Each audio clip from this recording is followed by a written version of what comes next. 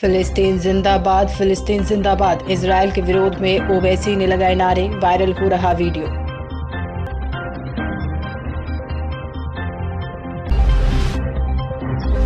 Gaza में जमीनी आक्रमण के लिए आईडीएफ तैयार। बाइडेन बोले, अपने फैसले खुद ले सकता है इसराइल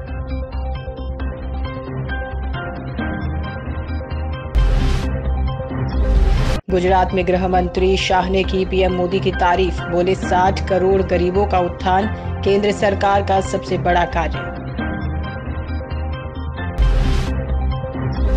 हरियाणा रोडवेज़ की जल्दी बस में विस्फोट, दो गंभीर रूप से घायल, सीट में लगी आग।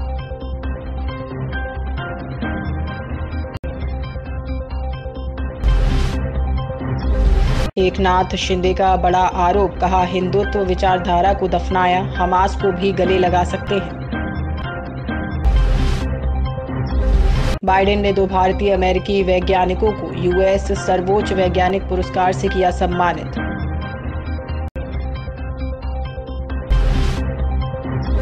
भाजपा को घेरने के लिए नई रणनीति बनाएँगे कांग्रेस, पाँच सीटों पर बदल सकती हैं उम्मीदवार।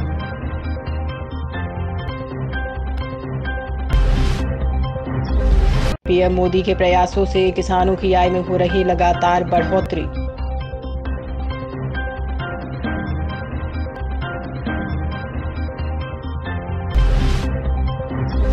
अगले महीने राष्ट्रपति और प्रधानमंत्री का दौरा। दिवाली के आसपास केदारनाथ आ सकते हैं पीएम मोदी।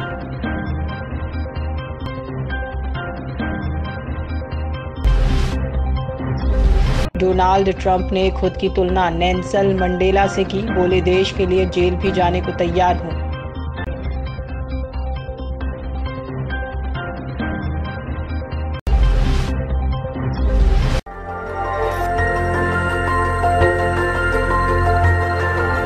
देखते रहिए डीवी भारती समाचार।